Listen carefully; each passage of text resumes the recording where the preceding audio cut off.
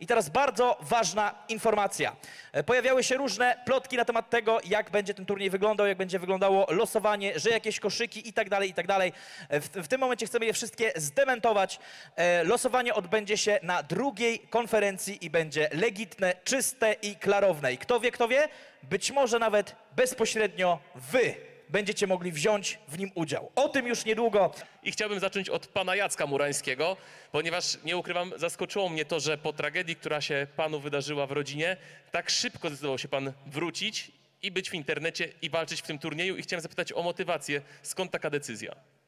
Ja może skorzystam z okazji. Chciałbym podziękować Federacji High League za bardzo godne zachowanie, za uczczenie minutą ciszy mo, pamięci mojego syna, jak również publiczności High Liga, która zachowała się przed tą szóstką bardzo godnie. Dziękuję bardzo z całego serca. To było bardzo dla nas ważne, dla mnie i dla żony. Dziękuję wam bardzo.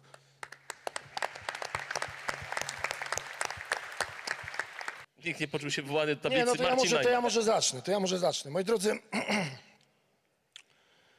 przede wszystkim chciałbym wam dzisiaj przekazać trzy bardzo ważne kwestie i wypowiedzieć się na trzy tematy. Są to jakby takie moje wewnętrzne trzy odrębne panele. Pierwszy panel to taki, że witam serdecznie wszystkich uczestników Grand Prix, oczywiście z wyjątkiem tej starej gangreny i i chciałbym panowie wam życzyć powodzenia. Zobaczymy, jak to wszystko wyjdzie w losowaniu. Tych, yy, powiedziałem, oprócz tej starej gangreny, bo teraz chcę coś powiedzieć do wszystkich. Niektórych nie znam, tych, których znam, to są naprawdę fajne chłopaki. Tych, których nie znam, nie obrażam, nie ubliżam, bo, yy, bo się wyda, wydajecie bardzo w porządku. Mam nadzieję na fajną rywalizację i nie życzę wam w losowaniu, abyście mnie wylosowali, bo będę was musiał po prostu po kolei detronizować, bo mam zamiar ten turniej wygrać. I to jeśli chodzi o ten panel pierwszy. Muszę teraz pewną dygresję, ale nie do końca, bo taką wprowadzić dygresję, ale nie do końca dlatego, że przecież doskonale śledzicie social media i była możliwość, aby jednym z uczestników tego Grand Prix był Tomasz Adamek. I ja wiem, że jak się interesujecie sportem, to wielu zacznie mówić, a co ten Najman tam wygaduje. Posłuchajcie, nie tak do końca. E, Przede wszystkim Tomasz Adamek jest wielkim mistrzem boksu, którego bardzo szanuję za, za osiągnięcia sportowe. Natomiast jest małym człowiekiem i po prostu karłem mo- moralnym. Wiem, co mówię, bo pamiętam, jak się na plecach Andrzeja Gołoty wybił do, e, w Chicago a potem go wy, wyzwał do walki, gdy wiedział, że jest, że jest niesprawny, że jest po operacji, to wtedy nabrał, nabrał takiej werwy i ochoty e, pobicia Andrzeja, którego już tak naprawdę był cieniem samego siebie. Andrzej mu te wszystkie furtki tam pootwierał w Stanach. Później chciał się na oczach ludzi pogodzić z Andrzejem, gdy organizowałem galę, gdzie Andrzej był gościem honorowym. Były wybory, przyjechał ze swoją świtą, ze swojej partii, no ale gdy powiedziałem Andrzejowi, że Adamek chce go zobaczyć, to, to nie, nie powiem wam, nie zacytuję wam, co Andrzej powiedział. W każdym razie najkrócej można powiedzieć, że nie chciał go widzieć.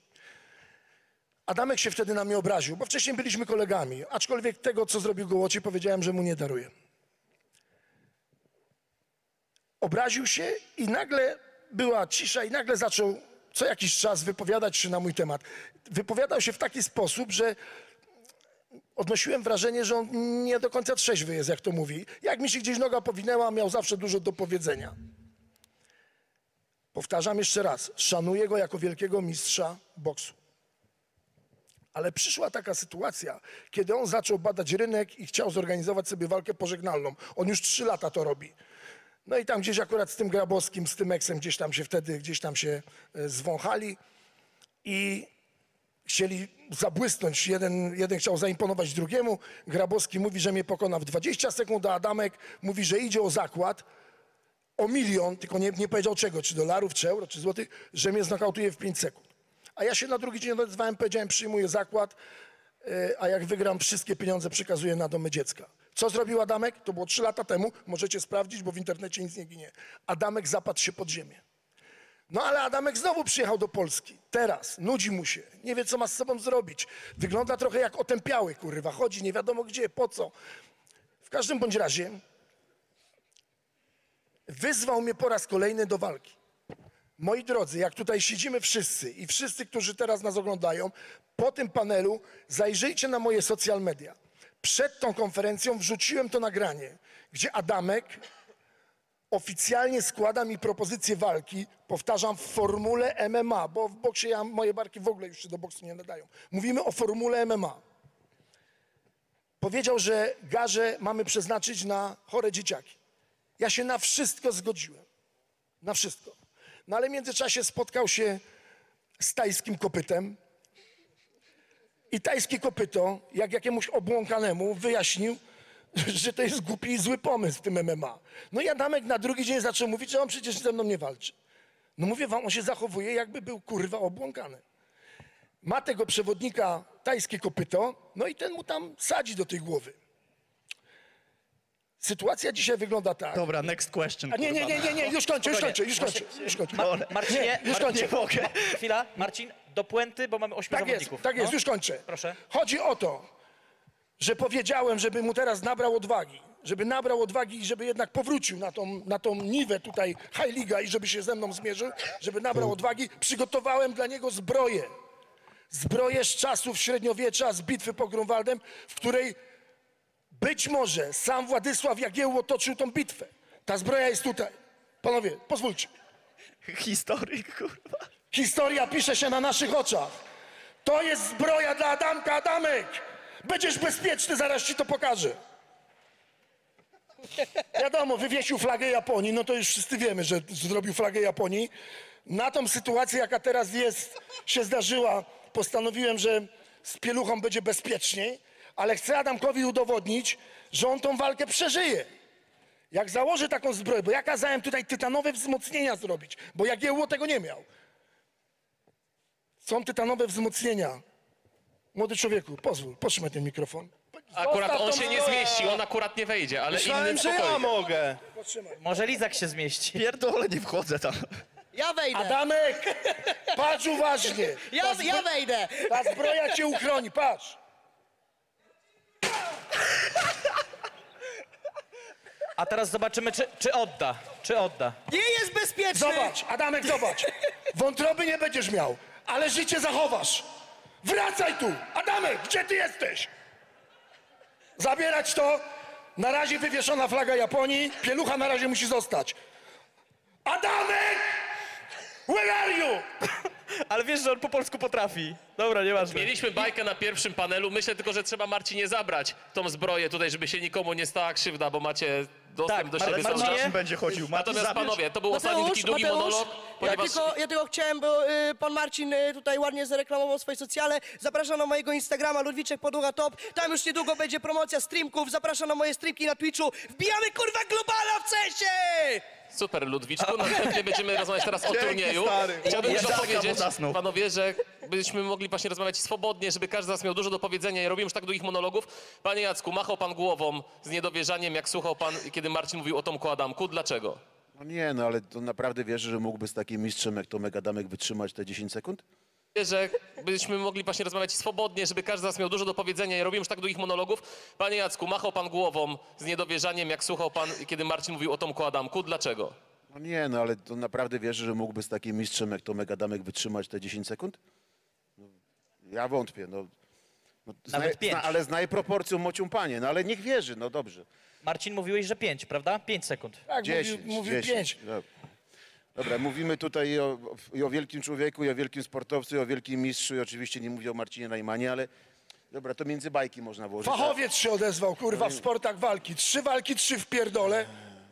Nie, naprawdę, no fachu, fachura Słuchaj, jak nie wiem. No. To, to, to, że walczyłeś z Jóźwiakiem i wygrałeś, raz przegrałeś i wa- zawalcz, zawalcz z tańculą, zobaczymy ile z ciebie zostanie. No. Jacek, a twoi dwoj pogromcy nie przegrali ostatnich walk na ostatniej gali, kurwa? Ale dobrze, że ty się odezwałeś, bo ja Jezu. chciałbym poruszyć bardzo ważną sprawę losowa losowania, losowania.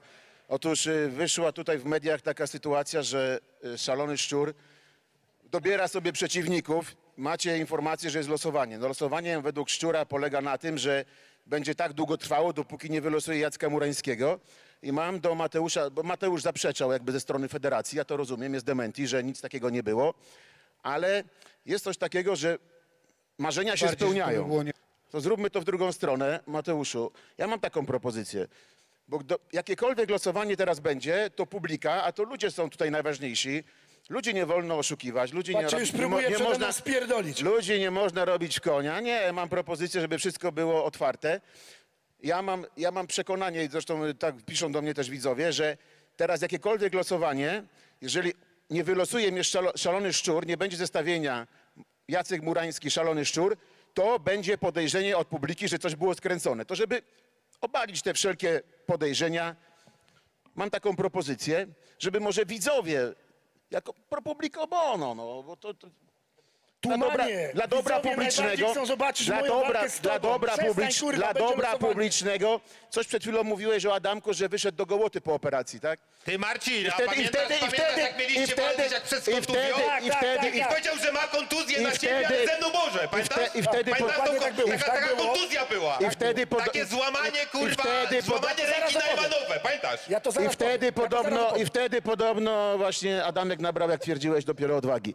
Więc poczekaj na swoją kolej, nie mam ciebie teraz na razie na, na radarze. Nie będziesz zakończmy tą sprawę. Czy uważasz, Nie, uwa- ale to czy po co ty tu uważasz jak Mateuszu, jesteś niesprawny? że żeby przerwać wszelkie dywagacje, No po co tu rozsądnym jak byłoby, jest niesprawny? żeby, głoso- żeby zagłosowali widzowie w tej chwili gardłami, bądź później też poprzez, e, poprzez jakiś sondaż e, na, e, na, na mediach społecznościowych High Liga, czy jak, je- czy takiego zestawienia sobie życzą i jak, jakiego sobie najbardziej życzą, żeby przerwać wszelkie dywagacje co do ewentualnego sfałszowania losowania. I Ty już bardzo- na ciebie będą głosować na prezydenta. Ty już te głosowania, to wiesz, to Przestań wszystkie pieprzyć. wygrasz, kurwa. Mówisz o kontuzji, przyszedłeś tu z tą ręką, kurwa, żeby ci nikt plaszczaka nie Oczywiście, zajebał, że kurwa, tak. bo kaleki się nie bije. On z- sprawa. opuści tą salę i zdejmuje No, tą no, ortezę, tylko to jest frana normalna pali, rzecz. wiesz. Pierwsze pytanie. Czy nie jest to dla ciebie ciężkie, że musisz walczyć właśnie z zawodnikami kategorii ciężkiej? No jestem w dużym strachu, tam koń, lew, tu jakiś kurwa robokop. Jestem przerażony. Słusznie! A drugie pytanie. I jeszcze pominął Super Mario, jakby totalnie. A, tam siedzi. No, Mario też. Mario jest taki niewyraźny w tej ósemce, że Ja jak wejdzie do z klatki, rury. nikt nie zauważy.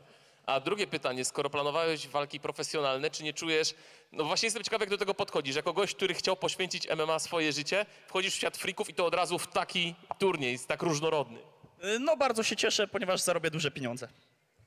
I to jest krótka odpowiedź, a razem z nami, z mojej lewej strony jest bohater, jest człowiek, który odmienił losy freak fightów. I pogodzi wszystkich, i pogodzi wszystkich, kurwa. Tak, wielki Darolew, który dopiero co zwyciężył swoją walkę z Natanem Marconiem, a już teraz bierze udział w tym turnieju. Daro, kto oprócz ciebie jest tutaj najbardziej groźny? Ja to może w takim moim stylu jak zawsze, czyli ty, ty, ty, ty, ty i ty i ty jesteście kurwa w strachu już! Ła!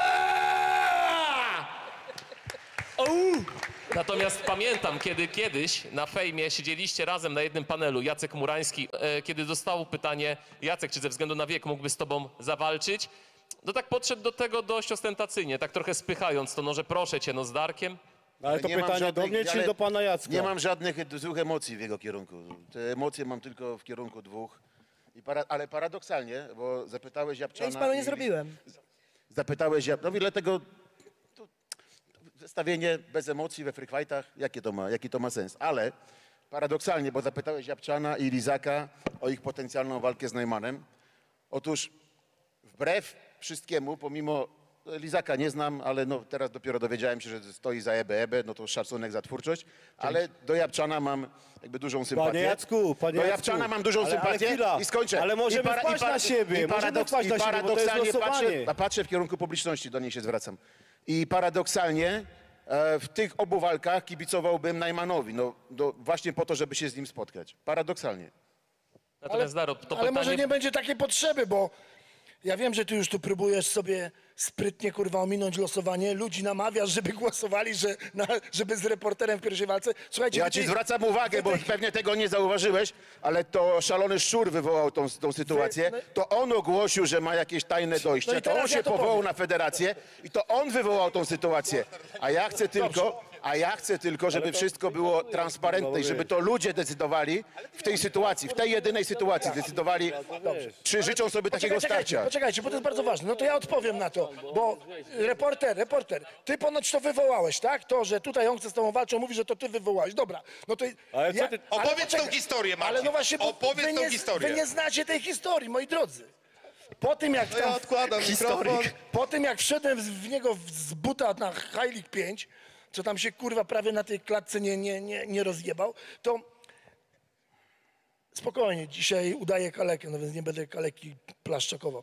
E, to on się po prostu zesrał w gacie. Tam tak śmierdziało, może to ochrona potwierdzić, ci co tam byli. Słuchajcie, tam się... Panowie tam byli? Tam się nie dało, wytrz- nie wiem czy byli ci, tam Ci, tak co byli, są do tej śmierdziało, pory w szpitalu. że normalnie łeb chciało upierdolić. A to Naprawdę. dlatego tak gwizdali wszyscy, tak? Tak, Tak, tak, bo jebało. Słuchaj, i teraz dalej, i teraz dalej. Wiecie, co on zrobił? Poszedł do federacji, nawiózł znowu, kurwa, jakichś badań i mówi, że on nie będzie ze mną walczył jeden na jeden, tylko, Ale? tylko dwóch na dwóch. I przysięgam wam, że tak było. Ale Marcin, przysięgam Marcin, wam. czekaj, ale Tak, miał poczekaj. kontuzję, że może walczyć nie z Tak. tobą, ale ze mną. Tak, To tak jest taka powiedział. kontuzja, że z tobą nie może, ale ze mną. I, po- I powiedział tak, że on tylko może walczyć dwóch na dwóch, no żeby się schować za plecy, kurwa, jak zwykle i żeby, żeby ktoś na pierwszy front poszedł, no bo no, skuteczność jest, jest jego bardzo dobra, no. Trzy walki, trzy w pierdole, no przypomnę. Także tak to, moi drodzy, miało wyglądać. O, tamtej walki i tak by nie było. Teraz jest losowanie, no to co robi? Próbuje ludzi namówić, żeby głosowali, żeby on od razu z reporterem. Bierzesz udział w Grand Prix. Najman, w za- największym Grand Prix w tym kraju, kurwa. I Najman, jest za- losowanie. I wpadniesz na mnie i ci rozjebie ten twój pusty, kurwa, łeb. Najman, nie zakrzywiaj rzeczywistości. Akurat jeżeli już, no to, to mówimy, mówimy tu o kontrakcie. Fe- Federacji, y, to był federacji pomysł o, co do walki 2 na 2 Uważała, Co ty pierdolisz, uważała, człowieku? Co nie ty kłam, nie pierdolisz? Nie kłam, kurwa. A, został podpisany kontrakt, zapropo- została złożona propozycja o Tak, walce tak, tak o jak walce 2 te na 2. głosy, że ma wrócić, kurwa. Podpisałeś- A wedle mojej podpis- oceny to są głosy z banku, kurwa. Nie sprowokujesz mnie. Sprowo- e, e, podpisałeś taki sam kontrakt na walkę 2 na 2 Dobrze wiesz, że miała być walka ty z bombą przeciwko ja i mojej świętej pamięci syn. Więc nie martw się, do tej walki dojdzie. Naprawdę, nie martw się.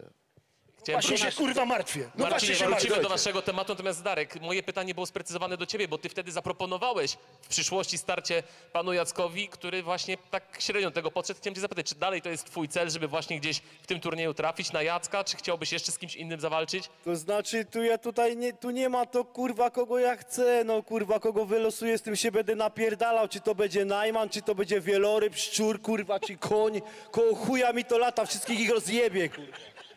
Ale, ale, ale, Adam Mickiewicz. ale chwila, muszę wam coś powiedzieć. Cicho teraz, ci, siedź cicho chwila. Transporter nie pierdol. O! Super Mario, e, pytanie do ciebie tutaj w ogóle. Kanapa, chciałbyś Siemanko, powiedzieć siemanko, siemanko wszystkim, kochani.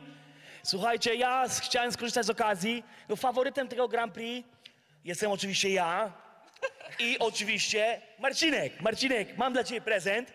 Pozwolisz, że wstanę? Pozwolicie? Zapraszamy, macie Marcinek, pole dla siebie. Ale zastanowiłeś się dwa razy? Marcinek, zastanowiłem się. Słuchajcie, mam prezent dla Marcinka. Z racji, że mnie zaszokowałeś tym, tą zbroją i w ogóle jesteś królem, więc mam dla ciebie, Marcinek, super prezent. Korona. W końcu jesteś królem. I berło. I mam nadzieję, że się spotkamy w finale i będziemy walczyć. Piąteczka. Ależ tutaj mamy wykaz szacunku, pokaz. No właśnie. e, Super Mario. Nie, ale słuchajcie, powiem- słuchajcie, powiem ci czyli szczerze poczekaj, tak, poczekaj, Lew. Że, że ciebie by dojebał ten piździeć, ten grzybek z tej bajki Super Mario, kurwa. Darek, Darek, je, Darek, ty nie bądź taki pewny Lew, siebie jeszcze za bardzo, Lew, rozumiesz? Poczekaj, poczekaj. Słuchajcie, Zawsze jestem pewny. Dobrze. Krzyczeć to ja też umiem, Daro. Jak ryknę, to ci kapelusz spadnie. Jest Ludwiczek, ja pamiętam jak ty po programie Face to Face... każdy umie, każdy umie, że. Ludwiczek, ty po pro programie Face to Face proponowałeś walkę Marcinowi Najmanowi, który właśnie dostał berło i koronę i Marcin powiedział, że chyba we dwóch jakbyście wyskoczyli do niego, to dopiero wtedy. Coś takiego było, prawda? no, dwóch, trzech, tam, Nie, nie, ja w tym momencie po prostu planuję odebrać berło i koronę. Ale nie, s- słuchajcie, ja wam coś powiem. Mówiłem, O berło, tylko mówiłem berło Super. Mario, żeby się dwa razy lepiej nie zastanowił, mówcie. bo wyciągnąłby co innego, no i ten finał by był teraz. Ale to doceniam, szanuję. Bardzo Berło. pięk- Marcin, załóż może, weź tę piękna koronę. korona, No piękne załóż, berło, no. Jest o co koronę. No walczyć. załóż, no. Jest o co walczyć. Niech Adamek patrzy, Słuchaj, załóż. ja jestem królem, ale nie koronowanym jeszcze. Jak Okej. napierniczę Adamka, to wtedy będę koronowany. Dobrze, panowie, w takim razie, jeżeli chodzi o was, Ludwiczek i Super Mario, chciałoby się powiedzieć kanapa underdogów, bo może, no uważacie... Same koty. Tak, no uważasz, że Tosy jesteś... kabanosy! Tak, uważasz, że jesteś e, faworytem, no ale jednak e, bukmacherzy niekoniecznie. I moje pytanie jest takie, właśnie... Bo im się odwróćmy algorytmy popsuły. Z kim, z kim chciałbyś zawalczyć z tej ósemki, a z kim byś zawalczyć nie chciał? Czy są takie osoby? Jeżeli chodzi o mnie, myślę, że mógłbym z każdym z was zawalczyć. To było fajne wyzwanie. Nie mam z tym, ja nie mam jakiegoś z tym problemu. Jakby nie, nie żywię jakiejś urazy większej do każdego. Więc to jest kwestia po prostu losowania. Fajne właśnie to jest to, że możemy, można to losowanie zrobi tą robotę, nie? Na pewno ogląda... Natomiast w tym momencie już mnie wkurwił Daro, bo już mi tu podbija, wiesz, podlatuje do mnie tutaj i mówi, "Ła!" a ja też jak ryknę, to kapelusz Ja spadnie. do ciebie nie podleciałem. Darek czapkę zdejmuje. Zobacz, fryzura fresh, kreska siedzi, także uważaj, bo co powiedzą sąsiedzi, jak wlecę w ciebie tam, wiesz? Wariacie ty. Bam. Dzisiaj będziemy mieli Ja naprawdę... szanuję, że wygrałeś teraz, ale słuchaj, takiego konia jak ja też nie trafiłeś, nie? Czacie, żebyście również pisali, jaki face to face chcecie zobaczyć najbardziej. Natomiast teraz pytanie do szalonego reportera, ponieważ jesteś wywoływany przez Jacka Morańskiego do tablicy, który chciałby na ciebie trafić w pierwszej rundzie. To ostatnio powiedzieli, że ty nie chcesz z nim walczyć. Czy to się już zmieniło? Czy jeżeli wylosujesz, to normalnie wyjdziesz do walki, bo w zapisach kontraktowych nie ma czegoś takiego jak ominięcie jednego rywala.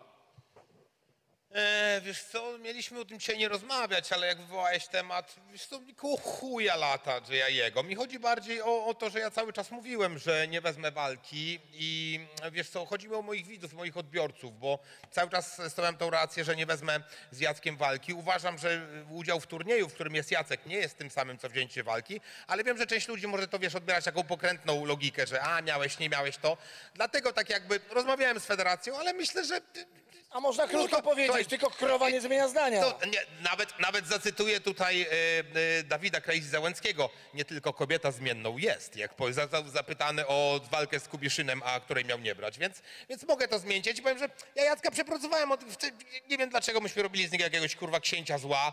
To jest starszy pan kurwa przygłupawy, kurwa, któremu się pomieszało w głowie i tyle. I tak trzeba traktować. No do freak fightów okej, no ale to nie ma co robić. Ja, ci, ja powiem taką historię, bo ja tak mówię, nie, nie wezmę tej walki z Jackiem, nie, no po co, obiecałem sobie. I po ostatniej walce e, na High League'u, ja się w ogóle czułem, kurwa, bardzo źle, wszystkie choroby mnie miałem doła. I jeszcze mówię, kurwa, i federacja wtedy mnie pytała, czy wezmę, czy to, on będzie w tym turnieju. Ja tak się zastanawiałem. I kurwa, wiesz, po wszystkich chorobach jeszcze coś mi zaczęło tu tak kurwa smyrać. Ja mówię, no ja pierdolę, idę do lustra, ja tak zdejmuję gacie, patrzę, a to mi Małe Jacek jaja. Murański koło chuja lata. I ja tak zrozumiałem, o co chodzi. To nie ma się co kurwa przejmować. Ja pierdolę, se jest, to se jest, gada ze swoje pierdoły. To myśmy zaczęli robić, on to powiedział, to dziecko tam, to jebać, niech se kurwa gada, chłopie. On pierdoli, tu sprawa, nie ma w prokuraturze sprawy, złoty wór, zielony wór. No on, co on mówił, nic się nie sprawdziło, więc generalnie już teraz to trochę inaczej traktuję. Nie jest w stanie mnie jakby dotknąć, ja się nie denerwuję na jego wypowiedzi. Ja już mam totalnie wyjebane, ten człowiek nie jest mi w stanie nic zrobić. Niech sobie tam kurwa dziamga, co sobie chce w tym kurwa wałczu, wiesz. Czyli na przykład dostajecie w losowaniu walkę numer jeden i rozumiem, że normalnie wychodzisz i 17 czerwca w Krakowie walczysz z Jackiem Murańskim. Wiesz co, y, pewnie tak, aczkolwiek teraz miałem rozmowę w, w ram... Myśmy coś tam z, z włodarzami federacji na ten temat rozmawiali, ale ja troszeczkę też przepracowałem tego Jacka, mam trochę inne zdanie. Ale teraz rozmawialiśmy przed panelem i mamy tą rozmowę zakończyć raczej tak, jak mówisz, ale pozwolicie, że taki statement jeszcze po dokończeniu rozmowy wydamy, ale raczej pewnie tak, bo to zostanie odebrane, że ja się kurwa, no gdzież się go bać, zobacz, no zobacz, kurwa, siedzi bidne, o to, to, to ledwo na scenę weszło, no bez przesady. Mi chodziło nie o niego, mi chodziło o moich widzów, wiesz o co chodzi? Jak cały czas mówię, że nie wezmę z pewnych powodów, to mi jest po prostu jakby głupio z siebie zrobić zupę mordę, ale no kurwa, wiesz o co chodzi? Zresztą, słuchaj, z- nie wiem, czy ja powinienem z nim rozmawiać, bo przecież pozew, pozew do prokuratury dał na mnie, więc kurwa, nie wiem, cokolwiek powiem może być wykorzystane przeciwko mnie. W każdej Wiesz, o co chwili. Jacek, Adwokat mi powiedział, Jacek, że jak- z tym jak się- panem. Przecież to jest prawilniak, rozumiesz, ten taki sztywniak, co ten człowiek, człowiek i poszedł pozew do Ale to nie prokuratury. tylko ciebie, więc tego ja, redaktora. Więc ja dziękuję. Dzie- ja- Panowie, dajmy Jacek. odpowiedzieć, bo tu Tak. dużo bardzo Jak słów się- padło wobec Jacka. Jak się do tego odniesiesz, Jacku? Już krótko, nie poszedłem pozew do, do prokuratury, tylko za mikrofon. nazwanie mnie pedofilem publicznie wobec milionów osób otrzymałeś prywatne akt oskarżenia A do kogo miałem to adresować? Do listonosza? Gdzie miałem szukać sprawiedliwości? I teraz będziesz musiał to potwierdzić, to co powiedziałeś, albo Jacek, temu, albo na temu konferencji, na konferencji Fejmu zeznając- 10 zeznając nazwałeś sądem, sodomitą. że Nazwałeś znając- tańculę sodomitą na konferencji Fejm 10 Zeznając- debilu. Powiedz mi, kiedy widziałeś, bo sodomita to jest uprawiający seks ze zwierzętami. Kiedy widziałeś Arkadiusza Tańculę zamieszkałego w Krakowie, jak kurwa uprawia seks ze zwierzętami, bo są twoje słowa. Więc kurwa najpierw spójrz na siebie i skądź pierdolisz, bo ty to powiedziałeś najpierw kurwa prywatnie, więc skądź, bo to jest kurwa moralność Murańskiego. Murański Jeszcze- może, jeszcze a na raz. Murańskiego nie wolno. Odpowiedź Jacka więc- Morańskiego, Tomek, podajmy więc odpowiedź. chuja mi lata jego odpowiedź. Podsumowując, Ludzie chcą usłyszeć. podsumowując, to co, to, to co powiedziałeś, oczerniając mnie przed milionami, powtórzysz przed sądem pod przysięgą. Potwierdzisz albo zaprzeczysz. Jeżeli potwierdzisz, to rozumiem, że na świadka przyprowadzisz Konrada Niewolskiego. No. On ciebie, a ty jego. Bo nie ma, in, nie, ma in, nie ma innej osoby, która by te brednie jeszcze publikowała oprócz ciebie i niego. Więc jest ta tyle. sama no. to jest to sama tyle. Więc, więc gdzie, gdzie, tu, gdzie tu prokuratura, gdzie tu jest... A co do zasady, ty mnie z kimś pomyliłeś. Ej, oszuście, ty mnie z kimś pomyliłeś. Ty jesteś tu największym oszustem, bo- bo... od roku ty się pić umiesz, kurwa. Tu nie ma większego oszusta od ciebie, No i kurwa. super. Jaki oszust? Ty robisz- od roku pierdolisz, że każdą walkę wygrasz, chłopia, w pierdol dostajesz, ciosu nie zadajesz, kurwa. Tu jest jeden, jedyny oszust, kurwa, i siedzi tu. A co do, co do, co do tego, co na, Co pocz- do, na, co po- do, co do, co do, napocząłeś. jaki, jaki, jaki, jaki, kurwa. Panowie i panie, macie tutaj, każdy z was ma swój notes z nazwiskami wszystkich zawodników. I na dzień dobry poproszę z ksywami, nazwiskami, żeby każdy z was wyciągnął tę kartkę i ją tak podłączył do tego notesu zawodnika, z którym najbardziej chcecie zawalczyć na tym turnieju. W pierwszej rundzie, jeżeli to od was by zależało, chcę zobaczyć, kto z was chce na kogo trafić w pierwszej rundzie, bo to, na kogo chce trafić Jacek Murański czy Marcin Najman już wiemy, nie znamy pozostałych. Macie wszystkich tutaj dookoła. Jedna osoba musi zostać wybrana, macie na to chwilę. Jedni szybko podejmują decyzję, Arek, inni widzę, że się mocno zastanawiają. Jeszcze nie, jeszcze spokojnie, Marcin, poczekamy, aż wszyscy będą Ale to gotowi. nie musieliśmy się zastanawiać. To pewne rzeczy są oczywiste. Marcin czyta najszybciej. Czy wszyscy gotowi? Okej, a więc wygląda to tak. Dobrze, panowie, wszyscy mają? Japczan? Wszyscy w tym momencie podnosimy kartkę Trzy, wysoko. Trzy, cztery. A więc Marcin Najman z Muranem. Marcin Japczan, Japczan, pokaż. Japczan, Japczan pokaż podkładkę. z Ludwiczkiem. Lizak z Japczanem. E, Jacek Murański z szalonym reporterem.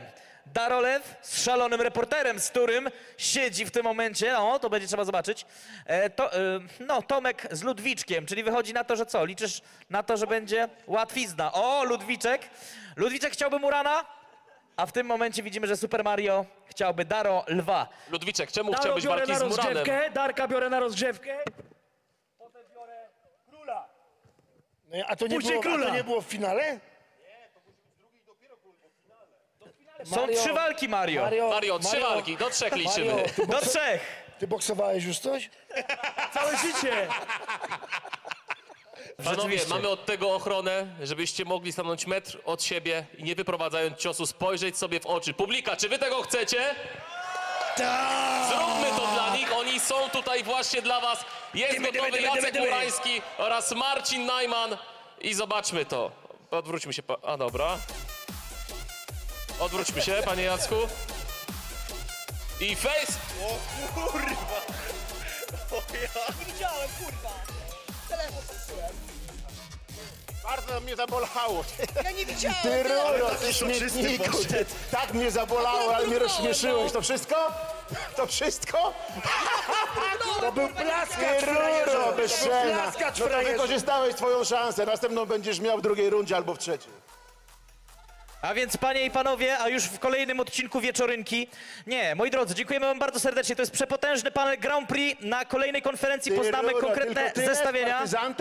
A w tym momencie, dobrze, dobrze. Mówiłem, że ci zajebie, ty Ojej, debilu. ojej. Jakiego partyzanta? Ojeju, jeju. Dostałeś plaszczaka, takiego, Ojeju, jeju. na jakiego zasługujesz, jak taki ty- szmatławiec. ale kurwa. jakby, jakby mnie zabolało, Jaką to byś się nosił. To nie chodzi o to byś się nosił chodzi do, o fakt, To byś się szmatławcu. nosił jeszcze z 10 Jak ci lat. wyjebie ty. w zęby, to się nie obudzisz. Tak, tak, tak, tak, właśnie poczułem. Ty śpietniku, ty, ty w ogóle ciosu nie masz, ty kurwa. Ty do Adamka.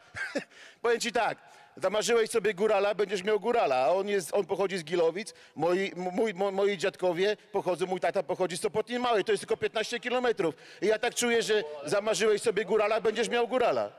Ale ty, Leszczu, nie masz ciosu. Ty, jakbyś, jakbyś, tym, jakbyś tym uderzył Adamka, to, to by, kurwa, no, ja coś tam poczułem, coś tam spłynęło. Przecież Ty, ty przecież ty dostałeś śmietniku! lepę, kurwa, jak, Ty najwię- śmietniku! jak zwykły leś barowy. Zobaczysz jak na, zwykły zobaczymy frajer, na rozumiesz? slow motion, jaka była Dostałeś lepa. lepę, kurwa, Tą na swoją pysk, śmieszną rozumiesz? piątkę nacisnąłeś. Lepę na pysk. Napiąłeś się, zacisnął wywaliłeś pięść, to bym dziurwał brzuszyską. ten łeb, ty debilu tak, tak, skończony. tak, tak, tak. Drugiej szansy miał nie będziesz, ty śmietniku. Ty. Three hours later. Moi drodzy, dziękujemy wam bardzo serdecznie. To był panel Grand Prix. Wielkie brawa dla wszystkich uczestników, a już niedługo więcej Arku, formacji. Marcin Najman, Japczan. Marku, jedna rzecz. Tak? Mamy nie po to Darol Wa, żeby nie wystąpił z berłem na samym środku. Daro, zakończ Grand Prix. Królew!